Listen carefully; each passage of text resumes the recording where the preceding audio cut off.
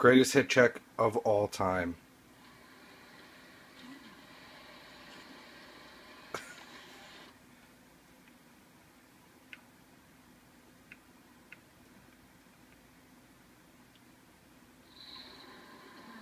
and broken leg. Let's see that again. Well, see that? Right there. Uh, see? Knee, wrong direction. And tumble.